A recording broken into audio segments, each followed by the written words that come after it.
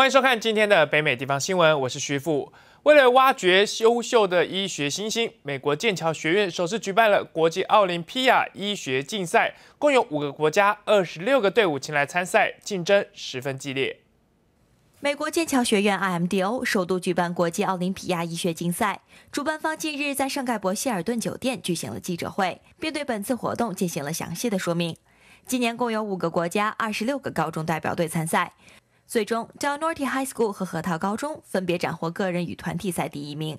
这次比赛竞技内容丰富全面，涵盖了细胞生物学、人体生理学以及人类疾病控制等等。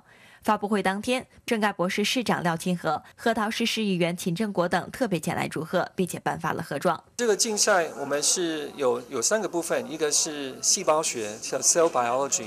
另外一个是人体的构造学，叫 human physiology。那第三个就是 human disease，就是呃人人类的不同的不同的病。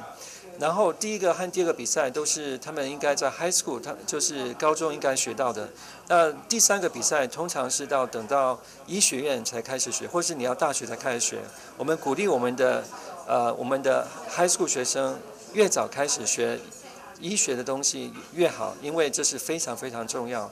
那对他们以后像申请医学院，或是以后他们自自己的自己的那个他们他们的健康都是非常重要的呃知识。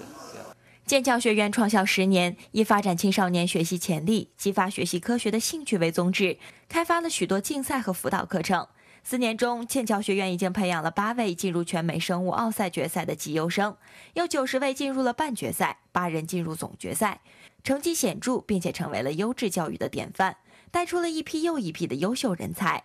剑桥学院有特别为申请医学院打造的专门计划，竭尽全力帮助有志从医的孩子们实现梦想，缩短学医的时间，培养专业务实的精神，为这些有理想的孩子铺垫道路。中天频道采访报道。